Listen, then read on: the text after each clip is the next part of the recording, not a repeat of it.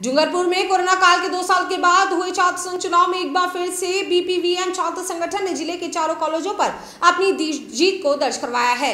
बीपीवीएम पिछले 2016 में लगातार जीत दर्ज कराती आई है। 2022 में हुए छात्र संघ चुनाव में फिर से कॉलेज चुनाव जीत कर दर्ज की।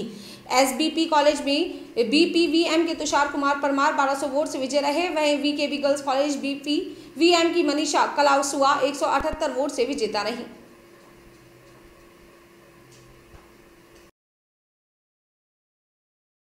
कॉलेज में जो टीचर की कमी है, उसको हम पूर्ण करेंगे एवं खेल मैदान की समतल कराने का है, वो हम समतल कराएँगे एवं ग्राउंड के चारों तरफ़ पेड़ पौधे लगाएँगे। छात्रवृत्ति की मांग को लेकर हर काम के लिए तैयार है।